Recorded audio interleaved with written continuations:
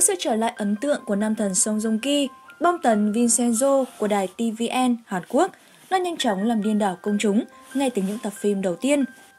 Được giới thiệu với một cốt truyện đầy sáng tạo, hãy cùng blog giải trí đi tìm hiểu vì sao mà Vincenzo lại hấp dẫn đến vậy nhá.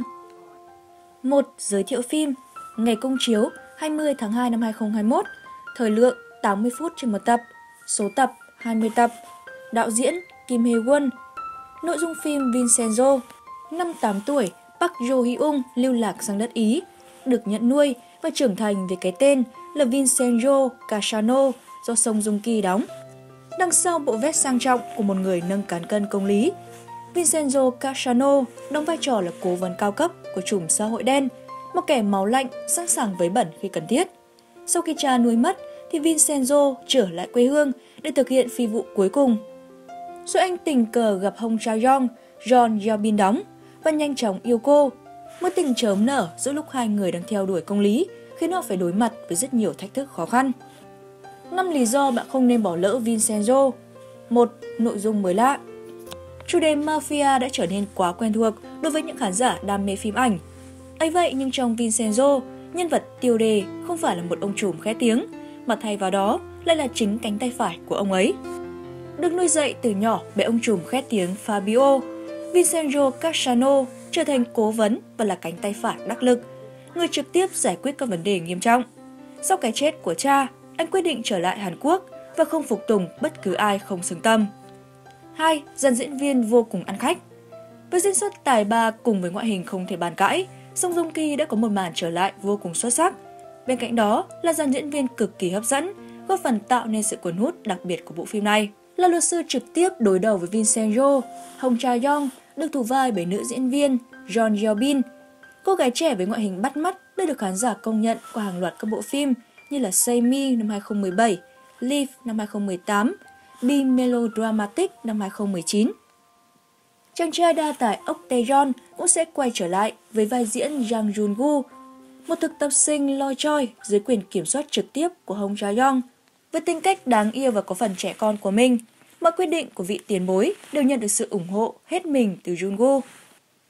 Không còn xa lạ với những người hâm mộ phim truyền hình Hàn Quốc, Quốc Dong Jeon cũng sẽ góp mặt ở trong bộ phim này.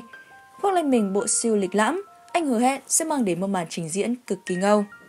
3. Mạch phim kịch tính nhưng cũng không kém phần hài hước. Nhằm châm biếm về chủ đề xã hội đen tại Hàn Quốc, Vincenzo là một tác phẩm thuộc thể loại Black Comedy, nghĩa là hài đen tối. Nhưng mặt tối của xã hội ở trong phim sẽ được khắc họa vô cùng ngộ nghĩnh, tạo nên những thước phim giải trí bên cạnh cuộc đấu đá căng thẳng của nhân vật chính. Vincenzo Casano, tay phải của chùm mafia Fabio, người luôn xử lý công việc một cách cẩn trọng và lạnh lùng tại nước Ý xa hoa.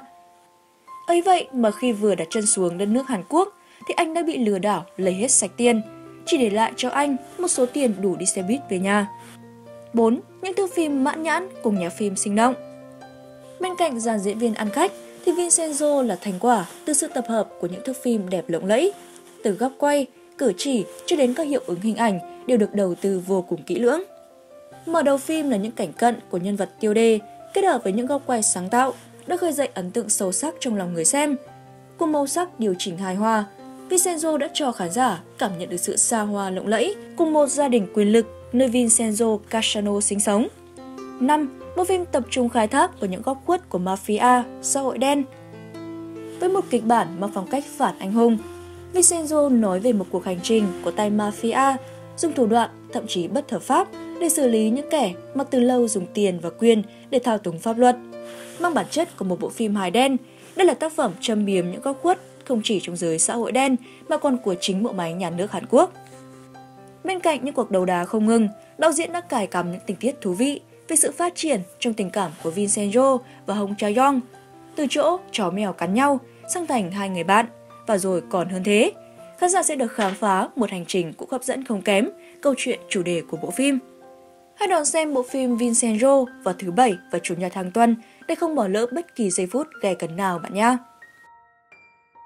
Cảm ơn các bạn đã theo dõi video này. Nhấn like, share và đăng ký kênh để nhận được những thông tin mới nhất của blog giải trí nha. Xin chào và hẹn gặp lại các bạn ở những video tiếp theo.